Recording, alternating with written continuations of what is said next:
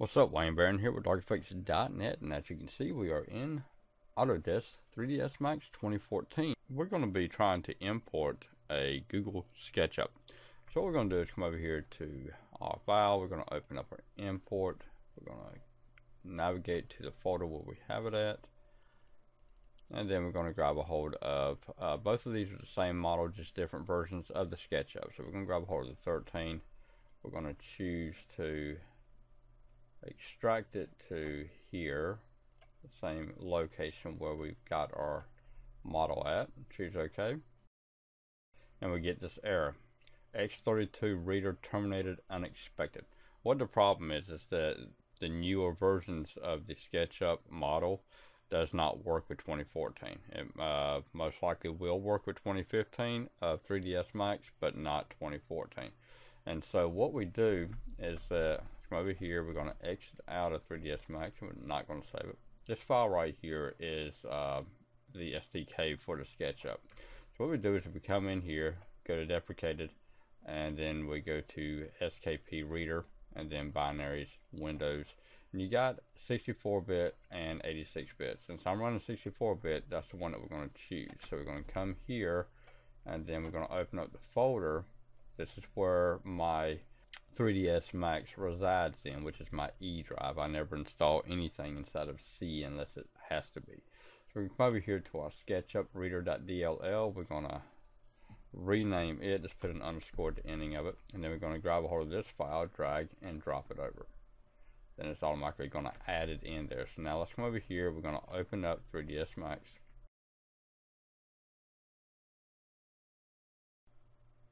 Okay, now that we got 3ds Max open, let's come over here. We're going to go back to import. We're going to come back to the location where we got our uh, object at.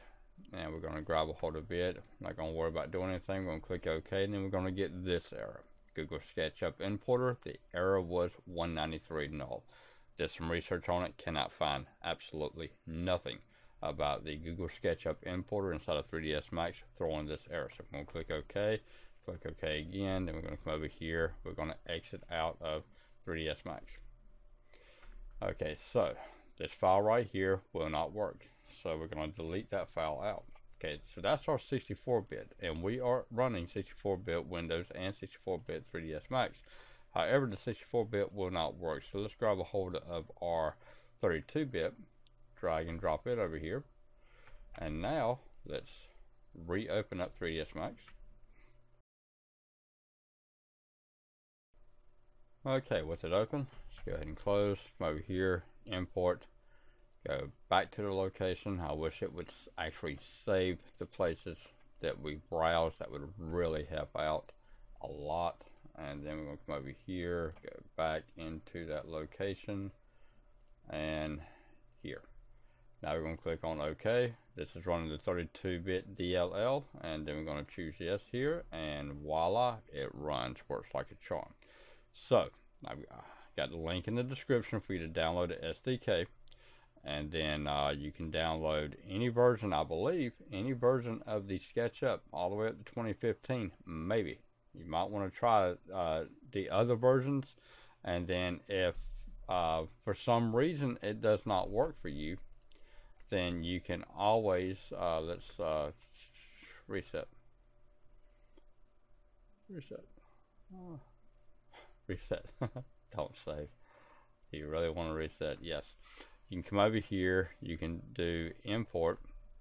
And then we got the model right here, which you can download that. And that is called the Collada file. And so this right here is where I actually downloaded this file from.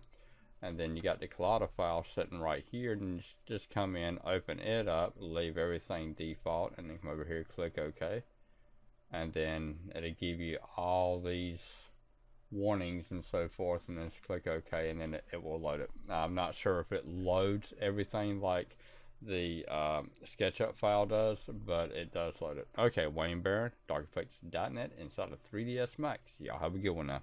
Bye-bye.